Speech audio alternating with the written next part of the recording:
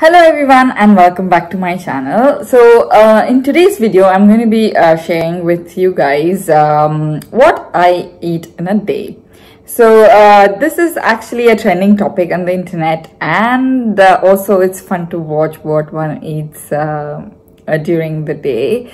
So I, at least I enjoy watching these kind of videos. So I thought why not make one. Come with me and let's check out what I eat in a day. So normally when I wake up in the morning, I'm not a morning person at all. So I kind of wake up at uh, uh, about half past eight um, in the morning and I drink a glass of uh, hot water um, I really don't like uh, any uh, other ways of drinking water. I really like to drink hot water all of the time throughout the day. So I just drink it up. And you can also have hot water with apple cider vinegar or a lemon or honey or whatever is your choice but apparently it's really good for your uh, health uh, in general but i personally don't like it so i really like just to drink up just water. I eat uh, oats porridge like every day. I know it's very boring but i eat it every single day. Um that there might be two reasons for that. One i really like oats porridge. The second one is i'm lazy to make anything else. So it's also really healthy and it contains a lot of fiber in it. So i think you know that's a good um a thing to have in the morning. Uh, and it also fills your tummy so that's a great thing. So normally at about nine o'clock uh, i have my oats porridge or sometimes at 10. I know it's bad to have uh, late breakfast, but uh, I at least try and have it before 10. So let me show you how I uh, make it. I use this uh, brand uh, called Arnold's from Farm uh, porridge sachets. Um, you can use anything actually, like I also like Quaker Oats. They come in like this um, sachet so you empty the contents of the sachet in a bowl and uh, add uh, some milk. So I use full fat milk. So it's, it's up to you if you want to use skim milk or anything of that sort.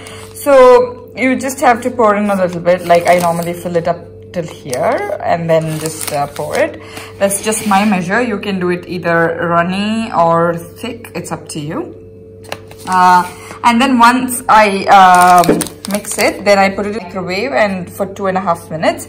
And then once it's done I um, add in a teaspoon of uh, honey uh, and then some chopped um, strawberries and some chia seeds. Chia seeds is uh, high in omega-3 uh, so yeah I use them. And then some almonds. So I, I exactly use eight almonds uh, because I've read it somewhere that you should consume eight almonds a day and that's just stuck in my head. Uh, so I'm going along with that. And uh, sometimes if uh, I get bored of strawberries, then I also uh, eat it with blueberries so that's the only variation that i try so that's about my breakfast this is a constant uh, so no change in that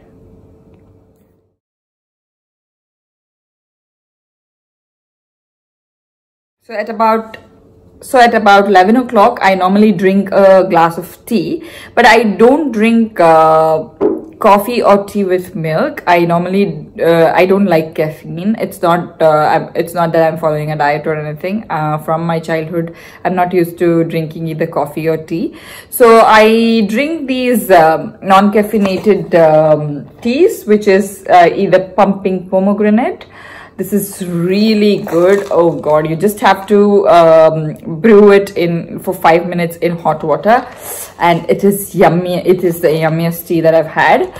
And the next one is Just Rose. This is very good for um, women in particular or uh, for anybody actually. But uh, for women i think it uh, really boosts your uh, hemoglobin and stuff. So this is also about five to seven minutes brewed in hot water and it contains no caffeine or sometimes I like to uh, drink uh, echinacea. So this is a herb uh, and it is like an antibiotic. So if you have a cold, like symptoms of cold and stuff, then you can drink this tea. But yeah, you can also drink it uh, generally as well. For uh, lunch, I normally have a rice. Um, so the portion that I eat is a bit less. I always believe in eating small portions. So I eat a bit of rice with uh, dal, that's lentils, um, or uh, some kind of like uh, uh, spicy rice like you know pulao we call it or biryani like vegetarian. I always eat only vegetarian. I can eat a little bit of chicken and fish but uh, it's quite a rarity because it doesn't suit my body. So i so i eat uh, either the pulao or uh, any kind of rice but rice is mandatory for me. But i just want my carbs and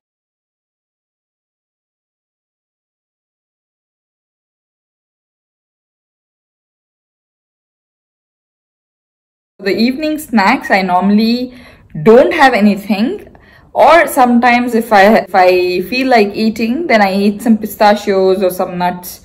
Any kind of nuts like i normally like only almonds and pistachios a lot. So i end up eating uh, that. So sometimes i even eat um, a snack called churmuri which is my favorite. Its uh, origin is from mysore uh, the place where i've uh, born and uh, brought up in. So it's made out of these puffed rice um, and uh, you just have to add in uh, ca grated carrot onions salt chili powder and uh, a bit of oil and um, lemon juice uh, and I'm gonna uh, just put a picture of it. And it's just mouth washing so sometimes I have it as well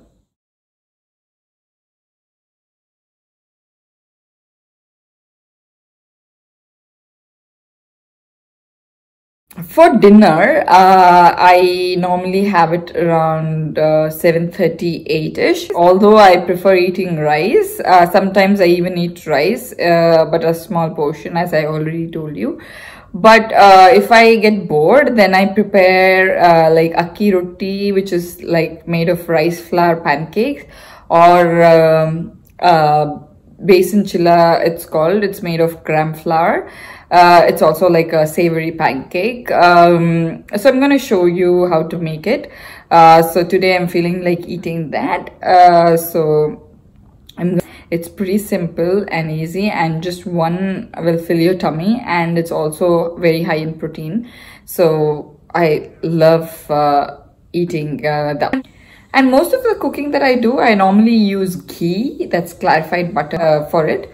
but for some uh, things like you know if you fry a vegetable and things like that it doesn't suit that's when i use sunflower oil. Um, and clarified butter is really good for your health. It is it has good cholesterol in it so it's really good. You should have at least a spoon a day. I'm going to be taking a bit of um, um, gram flour. Just take one cup of gram flour. And then add 2 teaspoons of flaxseed meal. This is really good because it's a source of fiber and it also contains so uh, omega-3 and it contains antioxidants as well uh, and then you can put bit of chili powder. I like it spicy so I put more of it. And then a pinch of turmeric. So they say the gram flour creates a lot of uh, gas in the body so I'm using asafoetida that's hing to neutralize it. Just a pinch of it. And I'm going to add coriander. To be adding green chilies to it. And um, onions I'm going to add it on top because it'll leave water. So I'll just add it when I'm cooking it. And then in the end I'm going to add puree.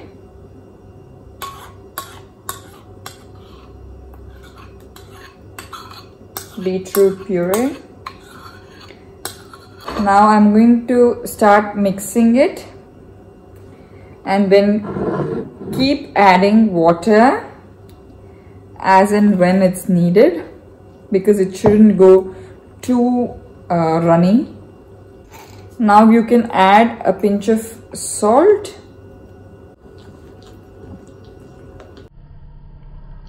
So it should be of this consistency. Let's heat the skillet and add a bit of ghee. Once it's heated up, let's spread the besan chilla.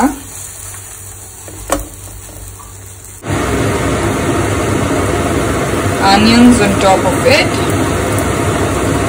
a couple of minutes, just turn it around and then let it get uh, cooked for another two minutes. Besan chilla is now ready.